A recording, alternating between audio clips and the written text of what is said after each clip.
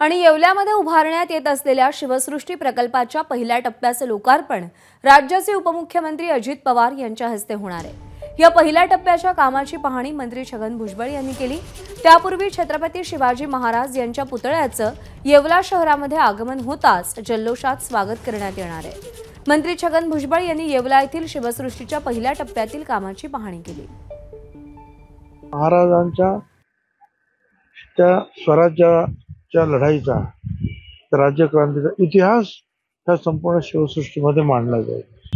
पुढचा प्लान आमचा असाही आहे की प्रत्येकाला एक प्रकारचं जे आहे काय म्हणतात तू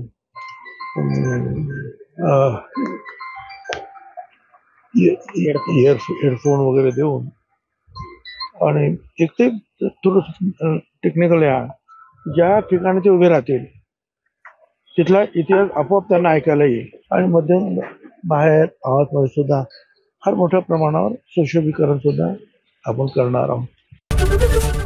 एबीपी माझा. उघडा डोळे बघा नीट.